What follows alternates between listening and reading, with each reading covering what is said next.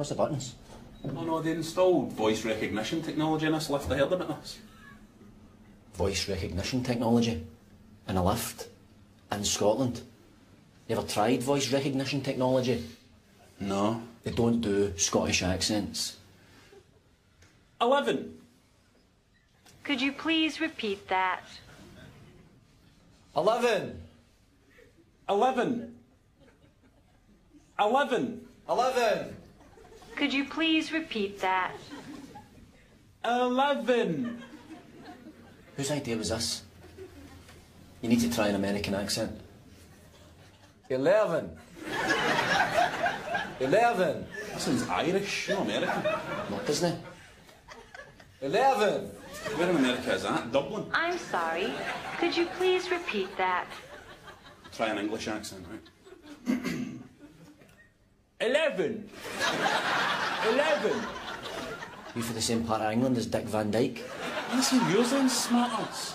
Please speak slowly and clearly. Smart ass. Eleven? I'm sorry. Could you please repeat that? Eleven! If you don't understand the lingo, away back came to your own country. Ooh, is that talk now, is it? Away back to your own country. Oh, don't start, Mr. Bleeding Heart. How can you be racist to a lift? Please speak slowly and clearly. Eleven. Eleven. Eleven. Eleven. You're just saying it the same way. I'm going to keep saying it until I understand Scottish, alright?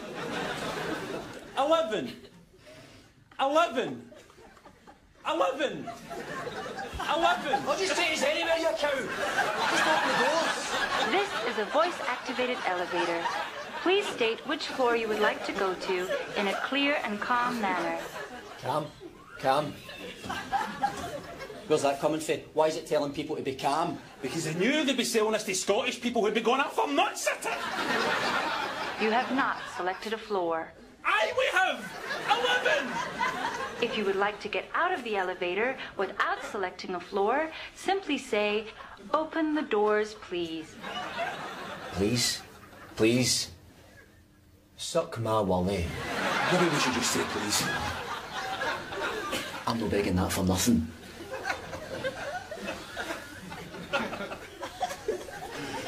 Open the doors, please. Please. Pathetic. Please remain calm. Oh, what do you went up tonight? Get up there. Hey, just wait for it to speak.